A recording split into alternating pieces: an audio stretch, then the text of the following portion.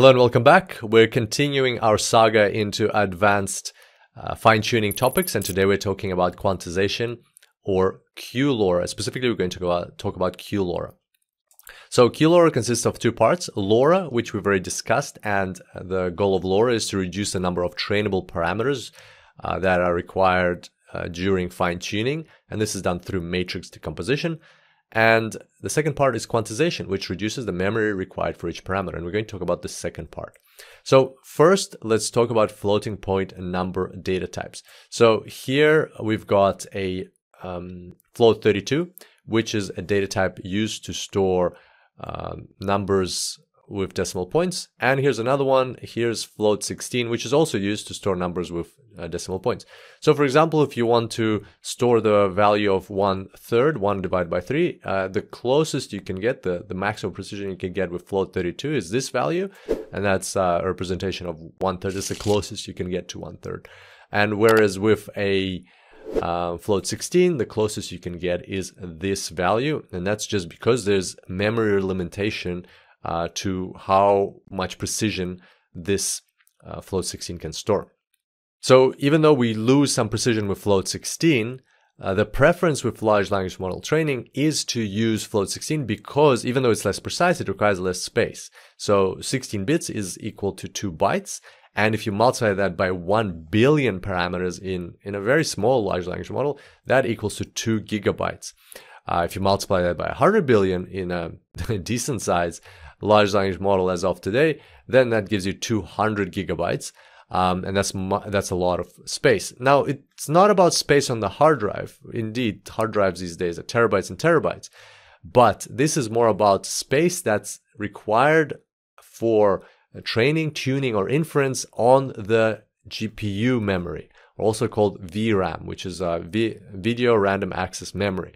So uh, the GPU memory is quite limited. For example, consumer GPUs uh, don't have that much, and uh, to, uh, as of today, they're between 4 48 gigabytes of VRAM, and the model requires 200 gigabytes. That becomes very hard for consumers, and even for businesses, um, that's a lot of space, a lot of uh, GPU memory that is required. So, how can we um, optimize this? Well, uh, we will use quantization. First, we'll talk about ordinary quantization, and we'll then we'll talk about Q-LoRA quantization. So, what is quantization? Quantization is a method to transform a uh, continuous number into uh, discrete numbers. So, for example, if we have our weights and they're distributed uh, somewhere between minimum and maximum, there are 100 billion weights. We also call them 100 billion parameters. Um, and if we're using float 16, then each one, as we discussed, takes 16 bits, and that ends up to be 200 gigabytes of space. But now what we're going to do is we're going to quantize them. We're going to say, let's, for argument's sake, that they're between minus 0.3 and 0.5. We're going to split this range into 16 equal bins. And each val, all of the values, whatever bin they fall into, whatever bin a, a given parameter falls into, a given weight falls into, it's going to be replaced uh, with the midpoint of this bin. So replaced or rounded, you can call this whatever you like. But basically, rather now than rather than having 100 billion parameters, all of which can be somewhere between 0.3, minus 0.3 and 0.5, now we're just going to have still 100 billion parameters, but each one of them will only be able to take one of these 16 different values, depending on which bin it falls into. And now all of a sudden, instead of having to store this in uh, float 16, we can get away with storing this with just four bits of data. There's our bits. Each one is a one or zero. Why four? Well, because two to the power four equals 16 and we have exactly 16 uh, bins that we need to codify. So let's look at an example.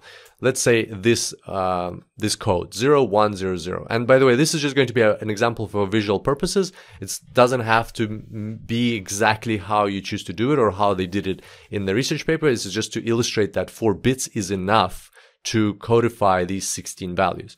So we're going to use the bits as indication left or right. So the first bit is a zero. That means we take all of our 16 bins, we split it in half, and we say, okay, zero means left. That means it's the, the bin that we're looking for is somewhere on the left side.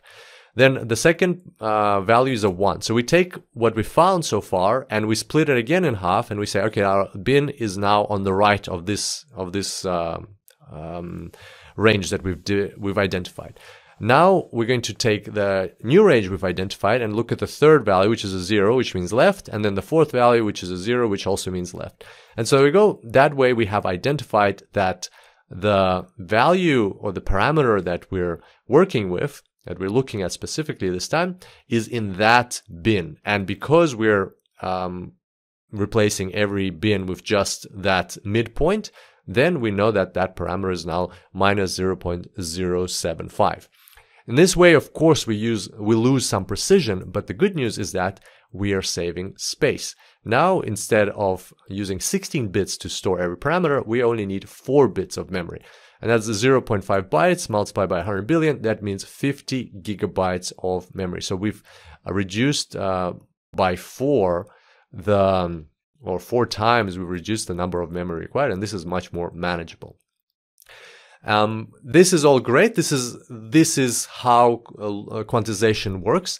In QLoRA, we have to take one more thing into consideration, and that is uh, that large language model weights are normally distributed. This is uh, considered to be a well-known fact, and in the paper they uh, do a thorough job at um, proving this empirically and showing that weights of a large language model are normally distributed. So in this case, if we were to do what we just discussed and we were to take these equally distant bins and apply them to a normal distribution, then um, that wouldn't be ideal because in the middle over here, in the middle of the normal distribution, um, there would be a lot of a lot of values, a lot of parameters would fall into each bin. Whereas on the sides, on, on like on the on the tails of the distribution, uh, there'd be very few parameters falling to, into each bin. So we have to adjust our bins, and that's what they do in the paper.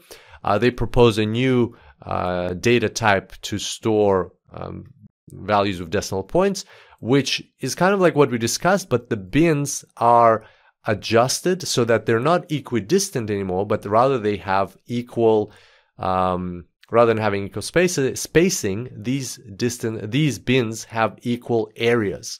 So they have equal areas under the normal distribution, meaning that the same number of parameters for, or same number of weights falls into each one of these bins. And that allows us to not waste um, bins on the tails of the normal distribution, um, and also at the same time keep as much precision as we can in the middle part of the normal distribution where we have most of the weights the most of the weights fall in there.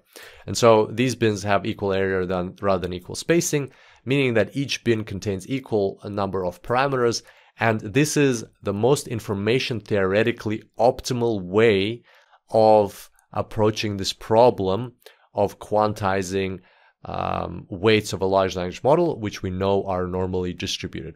Information theoretic op theoretically optimal means that with the information that we have, this is the best way we can come up with, the most efficient way for storing these values. And that's pretty much it. So uh, they use 16 bins, which equals to 4 bits. You can use a different value. You can use 5 bits, 6 bits. That increases the number of bins and, of course, increases precision.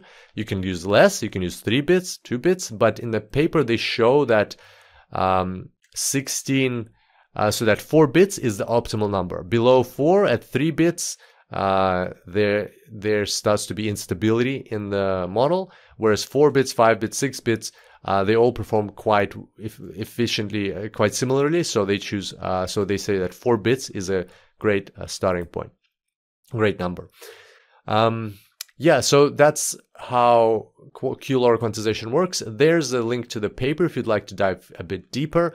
Uh, keep in mind that it is quite an advanced uh, paper. There's quite a lot of technical stuff. So if you'd like to, rather than reading the paper, watch or listen to the paper, there's a, a YouTube video with one of the authors of the paper actually walking us through the paper. So you can find this uh, on this channel of the London London Machine Learning Meetup. Now make sure to check out these videos on the right or the full course in the description to continue your learning and I look forward to seeing you there.